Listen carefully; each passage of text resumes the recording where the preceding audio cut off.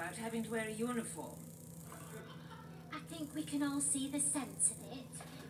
For hygiene. And it protects nipples.